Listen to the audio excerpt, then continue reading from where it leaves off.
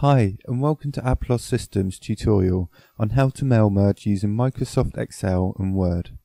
The first thing we need to do is to create an Excel spreadsheet. I've created one here with the headings name, address, phone and email. You can create your own headings but just make sure that they're in the first row and then fill in your data below. An important thing to note is that we filled in the data here on sheet 1 of this workbook. The next thing I'll do is to save this Excel spreadsheet and to close Excel.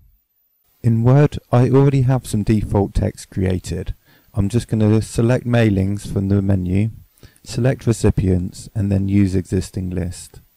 I'll then navigate through my file system to find the Excel spreadsheet that I just saved.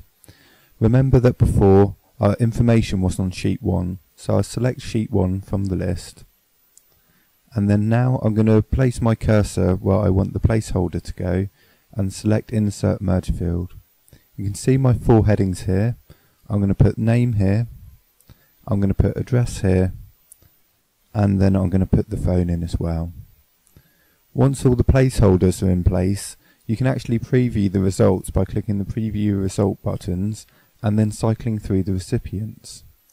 And then to finish you can either generate your documents print the documents, or because we have an email field, we can email them. The email field is already selected as it's called email, but you can select other fields.